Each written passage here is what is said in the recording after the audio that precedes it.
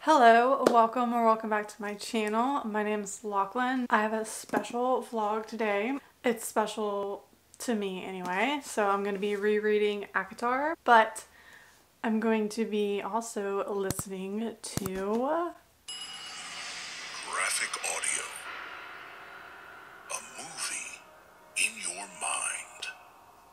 Yes. I am so freaking excited to listen to this audiobook. So first off, thank you so much Graphic Audio for sending me this because I am just like I will be your number one hype queen. But if you're not familiar with Graphic Audio, they basically do dramatized dramatized, I think that's how you say it. Um, audiobooks. So it's full cast. It's not like your typical audiobooks on like Audible or Libby or anything like that. Like this is full cast of audio. I don't really do audiobooks. I struggle with retaining audio, but dramatized audiobooks, different different thing. I listened to a sample of the audiobook and I'm just already obsessed with it. Like I'm so excited. And I will be annotating my copy because um, I actually have like three or four copies of ACOTAR and this is the one that I originally read, like this copy, and I never annotated it. So I want to annotate it. It'll be a really cool time. So let's start reading. I'm so excited. Graphic Audio presents A Court of Thorns and Roses by Sarah J. Maas, Part 1, performed by a full cast. The forest had become a labyrinth of snow and ice. I'd been monitoring the perimeters of the thicket for an hour, and my vantage point in the crook of a tree branch had turned useless. The gusting wind blew thick flurries to sweep away my tracks, but buried along with them any signs of potential. Okay, so I'm only on page six and just got to the part where Feyre, by the way, there will be spoilers in this vlog. So she shoots the wolf or whatever with her arrow and the freaking audiobook, dude, it actually like you hear the wolf whimper. That was so sad. oh my god. I was literally like, oh my god. The arrow found its mark in his side, and I could have sworn the ground itself shuddered. Okay, so I'm on page 13 and I know Nesta is not painted as the nicest person in this book, but she's cracking me up in the audiobook. At one point, whenever her and Elain are bickering, and the audiobook is like, it just says, shut up. and that's Nesta telling Elain to shut up. I just, okay, I just got to the part where Tampon shows up, and the, the audio is just so good. Surely you lied to save them. We didn't kill anything. Please, please. Nesta pushed Elain farther behind her. Liar. You knew. You would have been more tempted to slaughter it had you known it was one of my kind. Tamlin sounds like a total tool, and I'm living for it. Grant you permission to live there. Truly. So I just finished chapter 8, and I forgot about the part where Feyre tries to, like, steal, I think it's like a butter knife, and she thinks she's being slick. and they know the whole time. Oh, I don't think I've updated you guys. So basically, she, uh, Tamlin took her, whatever, and now she's in the spring court, and they're just like having dinners and stuff, and she's walking through gardens and things like that. Um, I think Rhys comes in around chapter 20. I'm just waiting on that, really.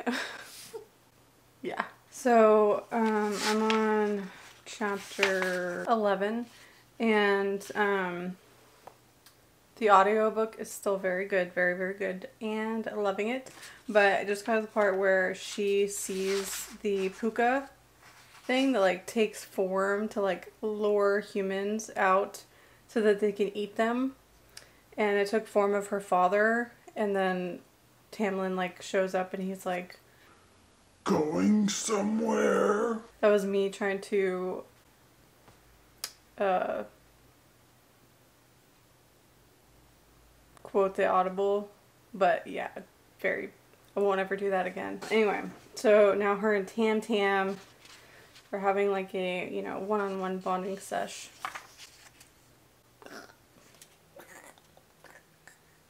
I remember the first time I read this, I totally liked Tamlin. and then Rhys shows up and it's like, Who's that? Okay, page 104 and 105, whenever Tamlin comes in after killing the Bogge and he's like dripping with blood, like standing there, his clothes are shredded.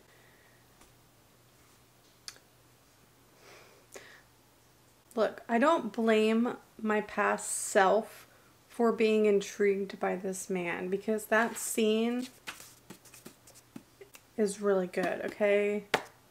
It's a really good scene, especially the audio just like emphasizes like only on page 107. So I'm like Can we speed it up a little bit? Just a little bit, please. You've been going on hunts, but you really don't have any interest in hunting. He cast me a sidelong glance. No wonder you two never catch anything. It's so freaking funny, Tamlin. Everything in Prythian was different, as Tamlin had claimed, thanks to this blight. Well, I didn't want to be caught up in some brutal war or revolution. I doubted I'd survive very long. Girl, same. I would not survive. I would literally be like a Clare Beddor, okay? Like things would not be good for me. That's all I'm gonna say. On page 113, Feyre's talking about how like she doesn't know how to read or write. And I'm just thinking about ACOMAF.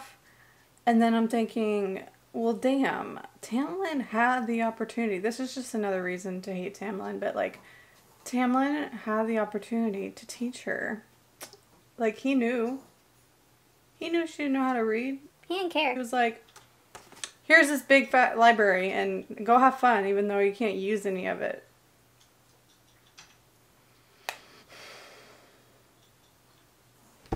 Okay, so page 117, he does offer to help her to write the letters. But you know what? I don't care. I still hate him.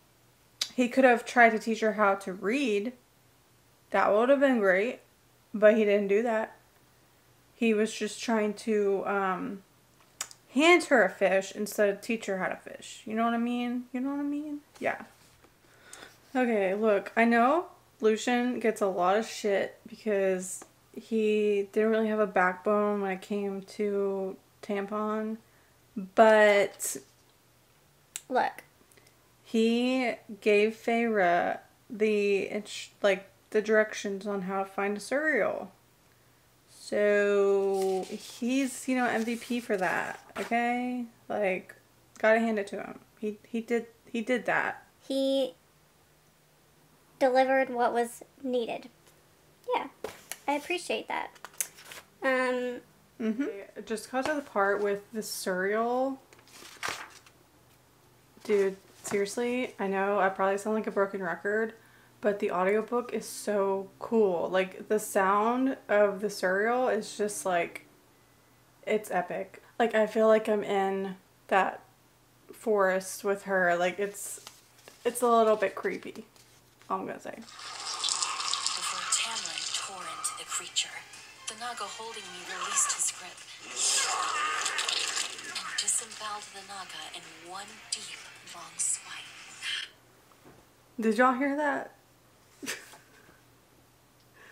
That is a very detailed. That's a really uh, detailed audiobook. That's good. That scene is good. So I'm on page 135. Um, one thing I thought was funny was at one point she says, My bowels turned watery. And I know this is like a whole thing. Everyone hates that she says that in this book because she says it like more than once, obviously. But the first time I read this, it never annoyed me.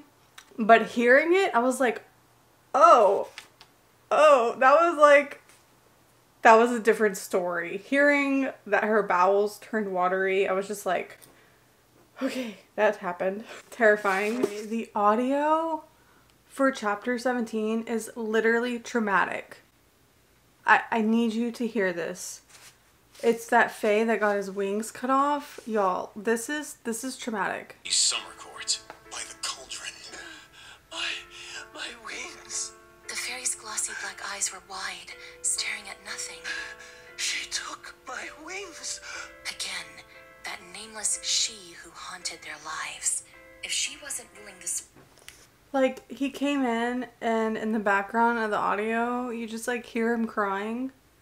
And I'm like, "Oh my god." Like this whole scene, I remember it being like really sad even without that audio, but with that audio, like this is truly traumatizing. And I'm in I feel like I'm to have nightmares of this poor Fae with his wings cut off. Like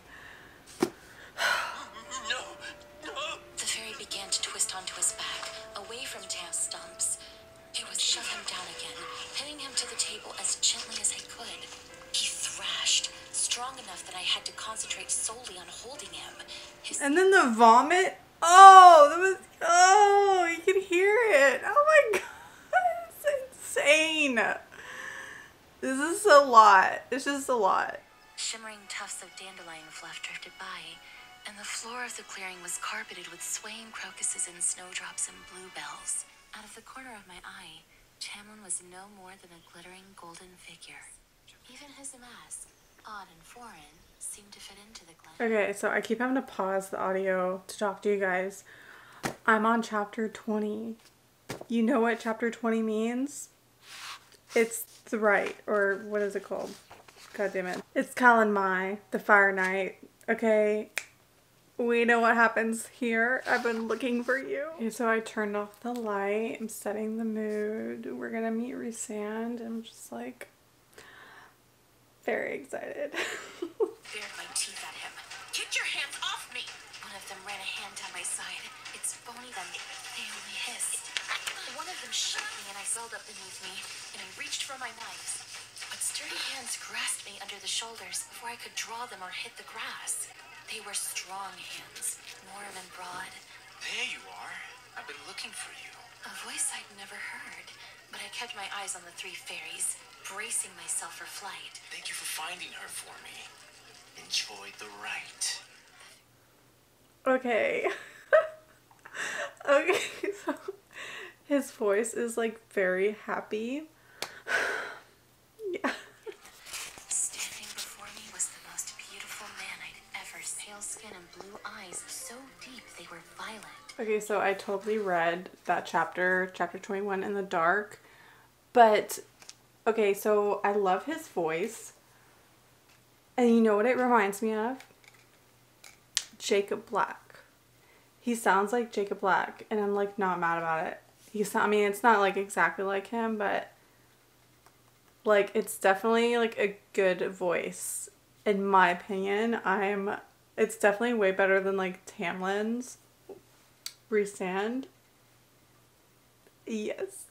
So I'm on page 195 and the audiobook is very like slow. If it weren't for annotating, then I would probably like not be able to like sit and read along with the book. Just a slower pace than what I'm used to. It's okay though because it's forcing me to read slower and kind of like savor it because I don't know when the next time I will reread this book will be. So I just finished part one of the audiobook, which ends at chapter, the end of chapter 23, page 212.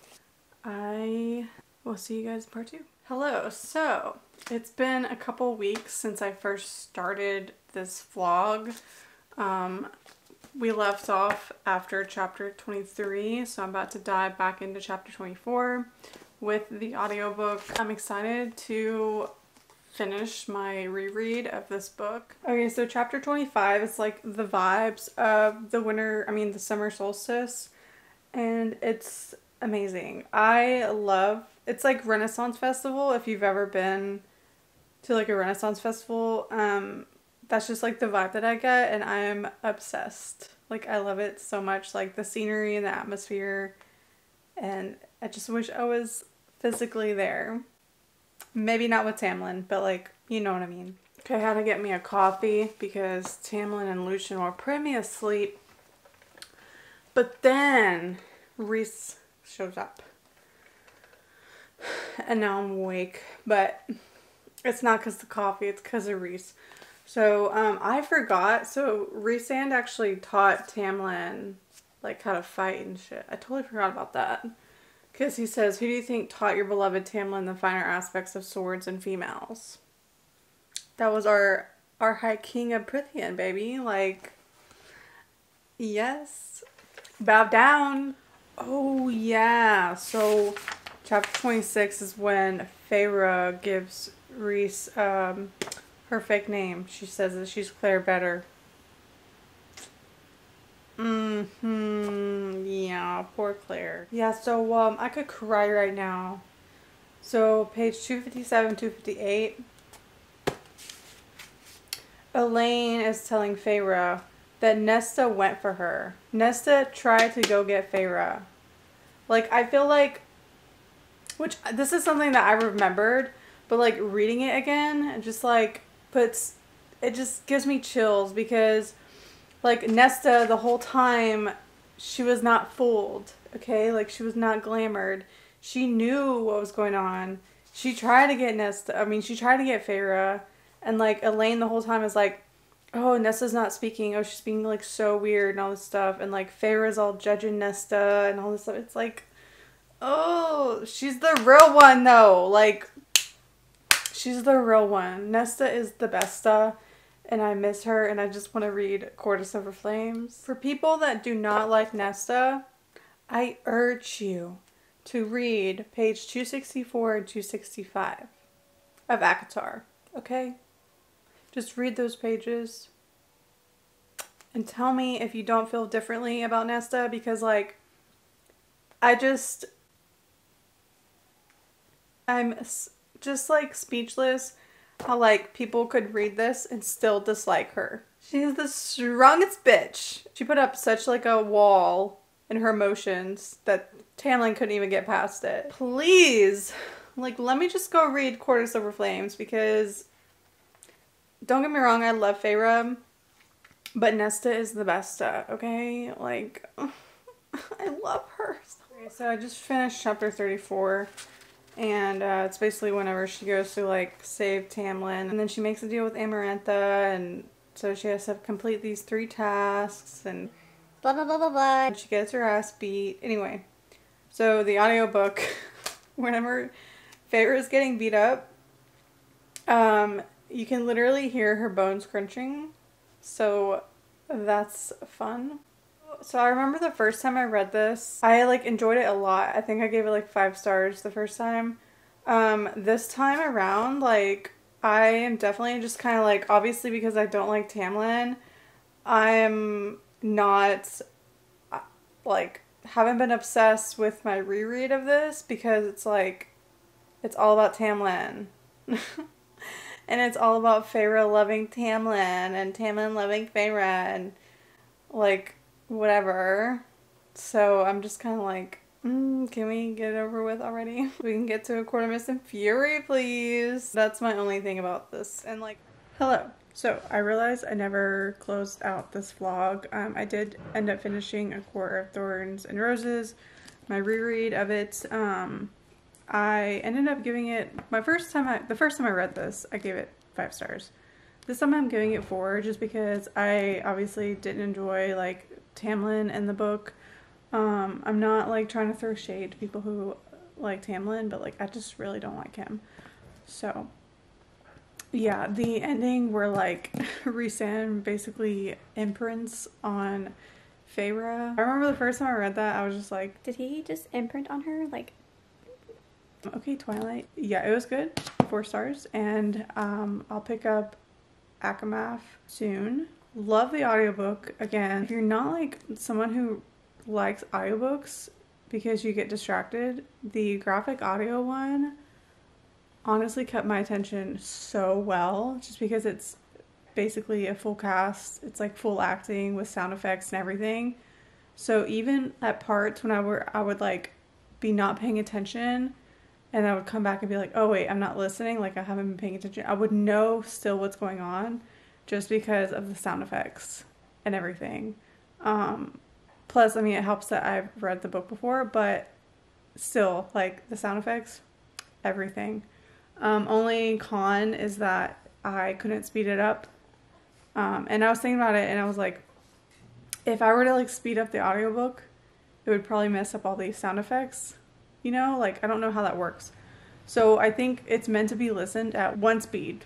It's not meant to be listened to at like three times speed. I give the audiobook five stars. Like so good. If you made it this far, you can leave a rose emoji as well as a headphone emoji because I was listening um, to the audiobook. And thank you so much for watching and don't forget to like and subscribe and I will see you guys later in my next video.